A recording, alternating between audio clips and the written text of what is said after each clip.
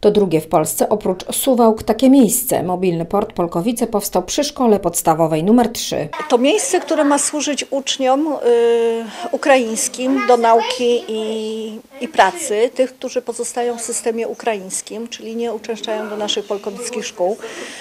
Y, tutaj akcję i cały ten port y, prowadzi mm, Fundacja Forum Inicjatyw Społecznych, przyczyniając się do tego, żeby ci uczniowie znaleźli bezpieczny azyl też i do nauki, i do pracy takiej codziennej. Dane mówią, że aż 150 tysięcy ukraińskich dzieci przebywających w Polsce uczy się w domu, zmagając się z izolacją i problemami technicznymi. Takie miejsca jak Port Polkowice mają temu zapobiegać. Ten pawilon, który tutaj powstał, y, Port Polkowice i Port Suwałki, bo podobny pawilon mamy właśnie również na Suwalszczyźnie, to jest kropla w morzu, ale pokazuje kierunek, w jakim można byłoby wesprzeć church. Młodzież ukraińską w tym, żeby uczyć się spokojnie, bezpiecznie, ale również wychodzić z domu. W Polkowicach już y, od 2018 roku z naszymi projektami, które realizujemy ze szkołami podstawowymi i, i z zespołem szkół, gdzie uczymy dzieciaki wrażliwości, empatii, tego jak patrzeć na środowisko, jak rozwiązywać problemy środowiskowe za pomocą technologii.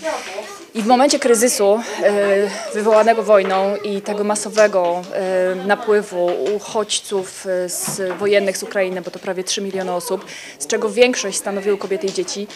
E, natychmiast też zajęliśmy się tym tematem. Byli online lekcje, później były zabawki. No tak tam zobaczymy. Niektóre, niektóre dzieci będą na online lekcjach, niektóre będą domowe zadania robić, będą czytać. W pawilonie jest miejsce dla blisko 20 dzieci. Pobyt dla zapisanych uczestników jest bezpłatny. Wystarczy skontaktować się z opiekunem, który przyjmuje zgłoszenia pod numerem 579 203 152.